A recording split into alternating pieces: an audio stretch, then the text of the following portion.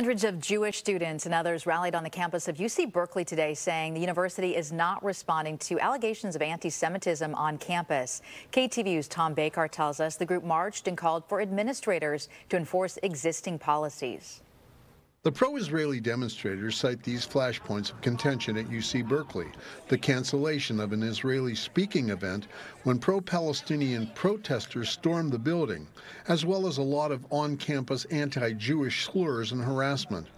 Demonstrators also complain that pro-Palestinian protesters have blocked Sather Gate for weeks on end. We see this with Sather Gate. We saw this at Zellerbach Playhouse. We don't want to see it anymore. Now is when the university administration must enforce its policies. There can be no compromise about freedom of movement, about the freedom to walk about our campus, whatever one's identity, without fear of harassment or intimidation.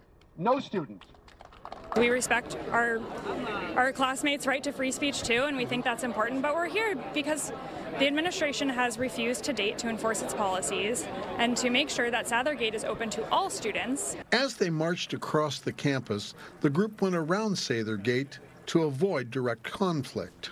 We are doing this every day. Our audience is the university and our demand that the university divest. Our audience is the students to know that there's a genocide happening. The university says civil disobedience, such as blocking Sather Gate, does not call for police actions, but if there's violence, campus police will intervene.